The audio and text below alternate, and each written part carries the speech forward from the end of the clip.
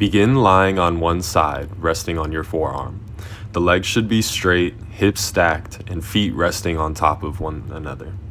Press into the forearm to lift your hips off the mat.